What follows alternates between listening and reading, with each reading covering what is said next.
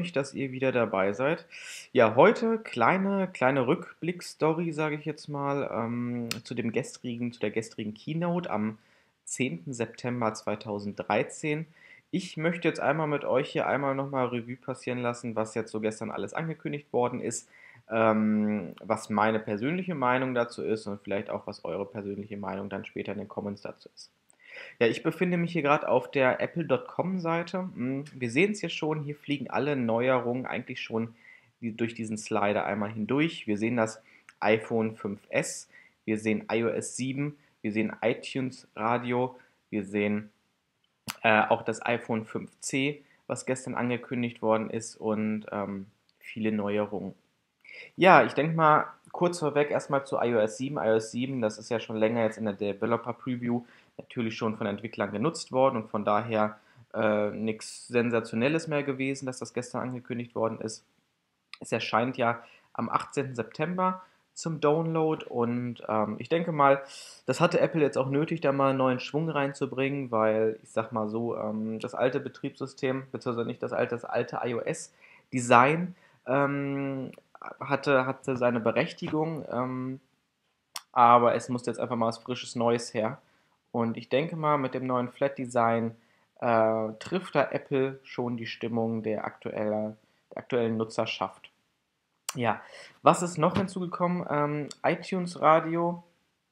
Ähm, ja, schicke Geschichte, denke ich mal. Muss man mal ausprobieren. Kommt, glaube ich, auch so zum 20. September. Ähm, ich benutze aktuell Spotify. Bin sehr zufrieden mit Spotify. Muss ich mal gucken, wie preislich das ausschaut da und äh, was für verschiedene Interpreten vertreten sind. Ähm, davon mache ich das eher abhängig, ob ich jetzt auch äh, diesen Service vielleicht zudem nutze oder dahin wechsle. Das ergibt sich dann alles. Ja, ich denke mal zu dem spannenden Thema. Also was heißt spannend? Ähm, es ging ja, denke ich mal, in der Keynote hauptsächlich um ähm, das neue iPhone 5C und das neue iPhone 5S ich habe hier auch einmal die Compare-Seite, also die Vergleichsseite aufgerufen, was man jetzt für aktuell noch für Modelle erwerben kann. Da haben wir einmal das iPhone 5S, was sozusagen ab dem 20. September hier in Deutschland ähm, erhältlich ist. Das iPhone 5C, was schon bereits ab 13. September erhältlich ist. Und das iPhone 4S, gut, das ist ja jetzt auch schon ähm, zwei Jahre alt, das Gerät, und ist immer noch erhältlich wo sind jetzt die Anreize? Es wurde ja immer viel von Einsteiger-iPhone gesprochen und iPhone 5C ist dann das neue äh, Billig-iPhone und ähm, ja, also ich sag mal so, es soll natürlich so ein bisschen einen Touch mitbringen, dass es ein Einsteiger-iPhone ist, das iPhone 5C. Preislich gesehen würde ich aber sagen, ist das überhaupt kein Einsteiger-iPhone ich würde mal sagen, wenn ich jetzt sage, ähm, ich möchte jetzt mal ein iPhone haben, ich kenne das noch nicht, möchte noch nicht so viel Geld für investieren, dann würde ich behaupten, macht das iPhone 4S mehr Sinn, sich dieses Gerät zuzulegen, als dann ein iPhone 5C sich zu bestellen an einem Vertrag oder dann halt auch ohne Vertrag für 599 Dollar. Ähm, von daher sage ich mal, iPhone 5C hat in dem Sinne eher das aktuelle bzw. was nicht mehr erhältliche iPhone 5 ersetzt mit trendigen Farben, Plastikhülle drumherum, ähm, aber als reines Einsteiger-iPhone, wo beispielsweise Apple jetzt Konkurrenz zu Samsung und Android-Phones mitmachen könnte, preislich gesehen, würde ich dieses jetzt nicht sehen. Gut, ähm, vielleicht kurz zum Vergleich nochmal iPhone 4S, denke ich mal, ähm, Neuerung. Damals war Siri, was natürlich on board ist. Äh, ich denke mal, deswegen wird das iPhone 4 natürlich jetzt auch rausgeschmissen worden sein. Kein Siri dabei, noch alle alte äh, Dock-Connector natürlich dran. Und ähm, deswegen sich jetzt hier auf diese drei Modelle bezogen. Ich finde es schade, dass jetzt das iPhone 5 rausgeflogen ist. Ich besitze noch so eins, bin damit sehr zufrieden. Ähm, ich sag mal, ich hätte jetzt jemand, der jetzt sagt, er möchte gern, äh, möchte nicht so viel Geld für das iPhone 5S ausgeben, die 699 Dollar, die es ohne Vertrag kostet und sagt, ich möchte lieber ein schon Fünfer haben, aber jetzt nicht das teuerste. Der kriegt jetzt noch eins mit Plastikhülle.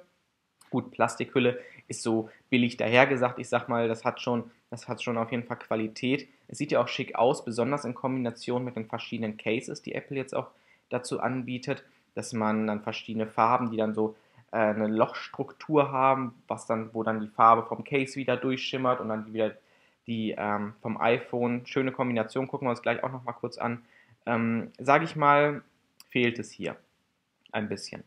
Die Meinungen spalten sich auch zudem bei dem iPhone 5S ein wenig zu, zu der Farbkollektion. Es gibt natürlich noch das Standard Schwarze, was es auch in der iPhone 5 Variante gab. Gold, Silber ist hinzugekommen. Ich sag mal so, ähm, wird, wird sich zeigen, wie sich das etabliert, dass äh, diese Farben, ob das angenommen wird. Ich sag mal, es ist auf jeden Fall ein gewagter Schritt, aber ich denke mal, es ist schon mal ganz schön, dem Nutzer auch eine Variation, eine Auswahlmöglichkeit zu bieten und nicht immer zu sagen, so, hier ist das iPhone in der Farbe, nimm es oder stirb. Und so auch mit dem iPhone 5C ein bisschen locker, farbig rein, so ein bisschen aus der äh, iPod äh, Touch-Szene herausgegriffen. Und ähm, ich sag mal, äh, ist nicht verkehrt. Ähm, einziges großer Kritikpunkt von mir, preislich gesehen, sage ich mal, 599 Dollar fürs iPhone 5C. Ähm, ich hätte erwartet, dass es ein bisschen niedriger liegt. Von mir aus auch mit einem schlechteren Prozessor, was vielleicht sich mehr in iPhone 4S Richtung tendiert äh, und vielleicht, ähm, ich weiß es nicht, äh, vielleicht ähm, kein, kein, keine super mega geile Kamera oder vielleicht fehlt eine Kamera auf irgendeiner Seite. Damit wäre ich lieber zufrieden gewesen, wenn hier ein bisschen abgespeckt worden wäre und dafür das Gerät vielleicht dann für äh, 299 Dollar angeboten werden würde. Gut, aber wir sind hier nun bei Apple, wir sind das ja eigentlich gewohnt auch alle und zahlen ja auch gerne alle dafür. Ähm, deswegen einmal weiter im Text. Wir gucken hier mal durch, was es hier für, für, vom Datenblatt her für Daten für uns gibt. Gut, das hier, denke ich mal, ist bekannt. iPhone 15 verschiedenen Farbvarianten. Das iPhone 5S in Silbergold und Spice Gray ähm, und das alte iPhone 4S in Black and White. Ja, zu den Größen natürlich. Wir haben bei dem alten iPhone 4S, sage ich mal, noch das kleine Display ähm, und bei dem neuen genauso auch wie bei dem, ähm, bei dem iPhone S und C natürlich das neue große 4 Zoll Display. Von daher schicke Geschichte. Ich denke mal, ich habe ja mit meinem iPhone 5 auch schon das große Display und ich sag mal, ich hatte vorher das iPhone 4, von daher habe ich einen ganz guten Vergleich und ich muss mal wirklich sagen, das war wirklich eine gute Neuerung. Das heißt, ich persönlich äh, würde mir kein iPhone 4S mehr holen wollen, auch wenn es natürlich preislich für Einsteiger viel, viel attraktiver ist als das iPhone 5C. Prozessortechnisch hat sich ja auch recht viel getan. Gut, iPhone 4S mit dem 5er, das C mit dem 6er und natürlich das Schlachtschiff, das neue S ähm, mit dem 7er äh, A7-Prozessor und dazu noch sozusagen ein M7, der hinzugefügt worden ist, der wirklich nur dafür da ist, Gesten auszuwerten, Geolocations Daten zu verarbeiten und all diese Prozesse, die sozusagen auch immer den Hauptprozessor sonst belastet haben, dem A7 wegzunehmen. Finde ich ganz gut, ist eine ganz gute äh, Ressourcenaufteilung, äh, schicke Neuerung. Gut, hier sind natürlich die verschiedenen, ähm, verschiedenen Anbieter, verschiedene Provider, die das Gerät zu Anfang jetzt unterstützen. Hier natürlich die drei großen aus Amerika und T-Mobile aktuell, äh, wie es doch so immer auch war, ähm, nur in Deutschland aktuell vertreten. Ich denke mal, es wird natürlich nach einiger Zeit auch wieder Vodafone hinzukommen, aber aktuell wird es nur über T-Mobile vertreten. Ähm, ja, man kann natürlich das, das Gerät direkt auch ohne Vertrag erwerben. Ähm, um jetzt vielleicht auch nochmal auf, auf die Preise hinzuzukommen, muss ich natürlich sagen, ich sage mal, das iPhone 5C mit 599 Dollar, sage ich mal, ähm, ist schon, schon ein gutes Stück Geld. Ähm, iPhone 5S mit 699 Dollar in der kleinsten Variante, sage ich mal, wenn ich jetzt schon so viel Geld für ein Smartphone investiere in der Richtung, dann sage ich mal, sind mir die 100 Dollar dann auch egal. Das heißt, da würde ich mir dann direkt das iPhone 5S äh, holen, wenn ich jetzt ein neues bräuchte. Gut, jetzt gehen wir hier zu den Daten her. Äh, ist eigentlich kein großer Unterschied. Wir haben natürlich überall ähm, die neuesten Techniken von, von der Wi-Fi-Übertragung. Hier ist wirklich ein schicker Standard drin. Das alles auf 2.4 äh, GHz oder 5 GHz getaktet und von daher eine schicke Sache. Was das iPhone 5S natürlich noch heraussticht, ist der Touch-Sensor. Touch-ID nennt sich das. Ich scroll mal hoch, das sieht man jetzt auf dem Bild hier nicht besonders gut, aber hier bei dem Home-Button ist sozusagen ein kleiner Metallring, kann man sagen, eingelassen, wo ich mit dem Finger drauf drücke und dann erkennt er automatisch, dass beispielsweise ich jetzt der rechtmäßige Besitzer bin, jetzt dieses Gerät entsperren kann oder beispielsweise auch bei iTunes jetzt ähm, was einkaufen darf. Jetzt für alle, die sagen, oh, oh, da muss ich ja immer meinen, meinen Mann oder meine Frau fragen, wenn ich da irgendwie das Handy mal entsperren will.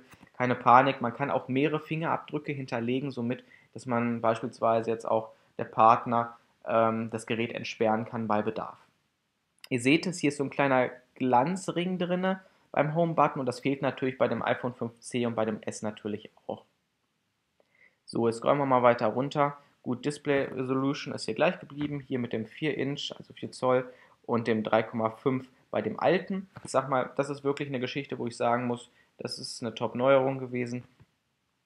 Kameratechnisch äh, hat sich natürlich hier auch bei dem iPhone 5S was getan. Da haben wir jetzt eine größere Brennweite ähm, und somit haben wir mehr Fläche, die abgedeckt werden kann und die Bilder, die Pixel werden größer und schärfer. Ähm, das hat das iPhone 5C und 4S natürlich nicht. Ich sag mal so, äh, ja, ist okay. So, Burst Mode, ähm, vielleicht auch noch ganz interessant, ist natürlich, man hat jetzt die Möglichkeit bei dem 5S mit dem Burst Mode und mit der Slow Motion jetzt Videos und Bilder langsamer aufzunehmen in einer äh, mit 120 FPS, glaube ähm, kann man die kann man die Bilder aufnehmen und damit hat man die Möglichkeit über die Slow, über Slow-Mo Videos sozusagen wirklich Details einzufangen, ähm, langsam durch das Video sich zu bewegen und äh, ja, noch bessere Fails aufzunehmen, sage ich jetzt mal. Ähm, ja, hier hat sich jetzt weniger getan. Äh, gut, Siri ist natürlich weiterhin an Bord. Ähm, ja, Power and Battery, da hat sich natürlich ähm, in der Richtung, da geht es natürlich immer weiter. Ähm, haben wir keinen Unterschied zwischen dem iPhone 5S und dem iPhone 5C. Aber ich denke mal, wenn man das hier mal vergleicht, überall sind so circa zwei Stunden bei Standby sogar 50 Stunden draufgekommen im Vergleich zum iPhone 4S. Also wir wissen ja alle, batterietechnisch sind die Geräte, ähm, das ist immer eigentlich die Schwachstelle aller multimedialen Geräte, die auf dem Markt sind. Ich denke mal, die Weiterentwicklung der Batterie hat auch die Ursache, dass viele Ölkonzerne immer, ähm, immer die, die äh, wirklich Innovation auf dem Batteriemarkt sofort aufkaufen, damit in der Richtung weiter nichts passiert kann man jetzt vielleicht nicht direkt die Verbindung sehen, aber man muss ja wirklich deutlich sagen, so besser die Batterien werden, egal jetzt im Smartphone oder im Auto, ähm, für, für, für den Ölkonzern äh, schädigt das natürlich, wenn beispielsweise in einer Woche dann nur noch äh, Elektroautos durch die Gegend fahren und dadurch äh, weniger ähm, Benzin verkauft wird. Und das ist natürlich eine Katastrophe für Ölkonzerne. Und deswegen ähm, geht natürlich überall so ein bisschen das so durch die Luft, dass die Ölkonzerne Konzerne da auch ein bisschen die Hand mit dem Feuer haben und sofort alle Innovationen mit aufkaufen, damit bloß keine super geilen Batterien auf den Markt kommen können, die beispielsweise so ein Akku von so einem Smartphone auch, auch mal vielleicht mal ein paar Monate am Leben erhalten lassen. Aber das ist jetzt nur so aus der Gerüchteküche mal so nebenbei, ähm, soll uns jetzt nicht weiter stören.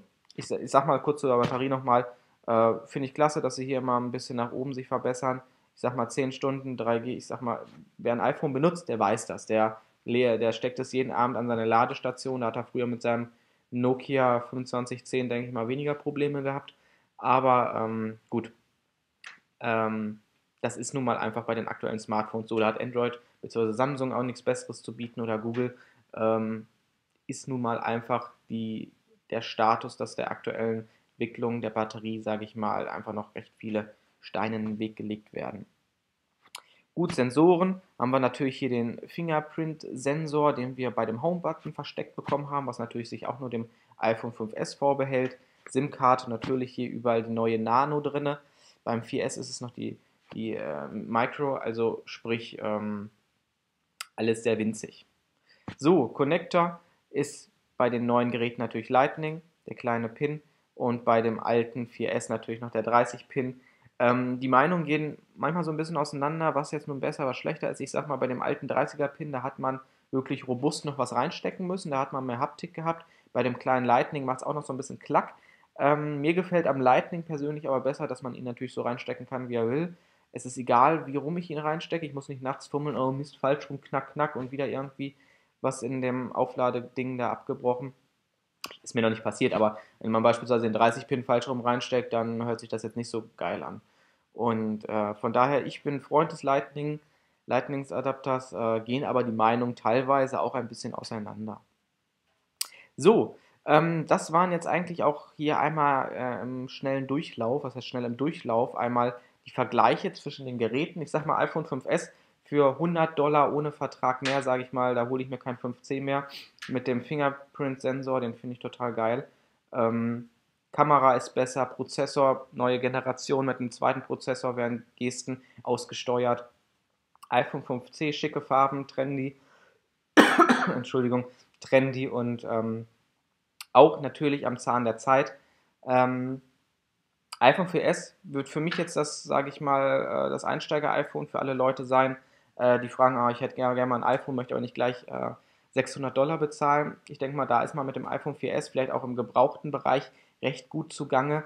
Äh, einziges, einziges Manko, was ich wirklich bei dem 4S noch sehe, ist jetzt nicht, dass es noch den alten 30-Pin hat, sondern eher, dass es noch das kleinere Display, das 3,5 Inch hat. Und äh, ich muss wirklich sagen, wer einmal mit dem 4 Inch gearbeitet hat, damit zu tun hat, der ist damit wirklich sehr zufrieden.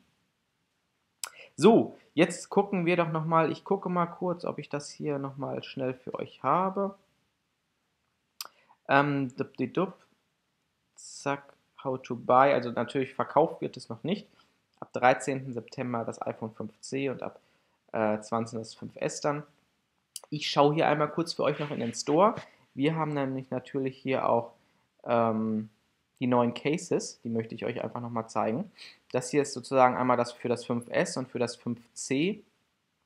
Man kann hier ganz gut drauf erkennen, es gibt dieses Case in verschiedenen Farben. Beim 5C ist es so gehalten, dass hier überall so Lochpunkte, ihr seht das besser, ausgestanzt worden sind. Und das ist eine schicke Sache, weil jetzt kann ich beispielsweise mal sagen, ich möchte gerne mein iPhone 5C, was vielleicht in schwarz ist, mit einem weißen, weißen Case kombinieren. Und so hat man wirklich viele Variationsmöglichkeiten zwischen den Farben. Macht Spaß, ähm, kann man sich immer ein neues Case kaufen hier für 29 Dollar, die man sozusagen auch schon bestellen kann und sozusagen dann die Geräte damit kombiniert. So hat man immer einen frisches, frischen neuen Look. Ähm, Finde ich als Trendidee nicht ganz schlecht. Ähm, und es wird nicht so langweilig, sage ich mal. Aber gut, ist nur Zubehör ähm, für 29 Dollar kann sich jeder selbst überlegen, ob er sowas braucht. Ich, ein Case kann ich sowieso immer nur empfehlen. Ich bin kein Freund von Schutzfolien, weil ich finde, dann geht die Haptik des schönen Displays verloren.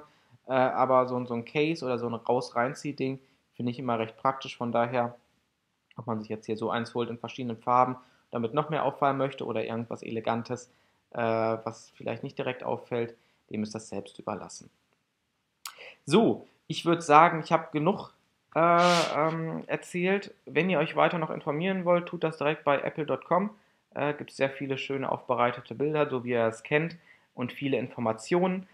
Mein persönliches Statement, ähm, klar, ein bisschen enttäuscht war ich, dass die iWatch nicht gekommen ist, habe ich mir zwar schon gedacht, aber es wäre, sage ich mal, ein kleines Highlight gewesen. Wenn jetzt äh, ähm, die iWatch präsentiert worden wäre, da hätte keiner mit gerechnet. Das wäre, sage ich mal, wieder so typisch Apple gewesen, hat aber nicht gepasst. Ich bin auch lieber der Freund davon und sage, ich warte lieber noch ein Jahr, statt ein unreifes Produkt äh, in den Fingern zu haben und mich dann darüber ärgere.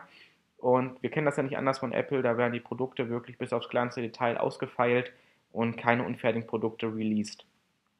Genauso gut Smart TV, denke ich mal, hier ähm, Apple TV ist äh, sowieso vom Band gewesen.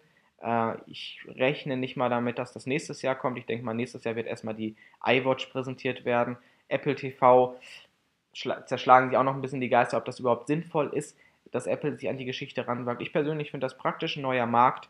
Ähm, ich hätte auch Interesse an so einem Gerät, aber ich denke 2014 weiß man noch nicht, muss man abwarten. Ja, ähm, sonst allgemein nochmal zu den iPhones, die vorgestellt worden sind. Ähm, schicke Geschichte, Fingerprint-Sensor, denke ich mal, das hat noch kein Smartphone-Hersteller. Da ist Apple wirklich wieder mit einer Innovation diesmal vorne mit dabei. Ähm, fand ich klasse. Äh, sollte man natürlich jetzt nochmal im Rückbezug aufs iPhone 5C sagen, der Unterschied von den 100 Dollar äh, und dem Mehrwert dann zu dem iPhone 5S, was ich dann habe, denke ich mal, äh, würde das iPhone 5C für mich nie eine Rolle spielen. Weil der Preisunterschied zu gering ist, damit ich sage, gut, das lohnt sich jetzt auf die äh, Details zu verzichten und dafür etwas zu sparen. Es sind nur 100 Dollar, von daher sage ich mal, uninteressant, äh, wenn man sich schon so ein teures Smartphone kauft. denke mal, das neue Einsteiger-Smartphone wird dann das iPhone 4S sein. So, damit auch die Schlussworte. Ich verabschiede mich. Ähm, ich hoffe, euch hat dieses kleine Review von, äh, für, für die Apple Keynote äh, gefallen. Ihr konntet noch Informationen aufschnappen, die euch vielleicht sonst entgangen wären. Ich würde sagen, dann bis zum nächsten Video.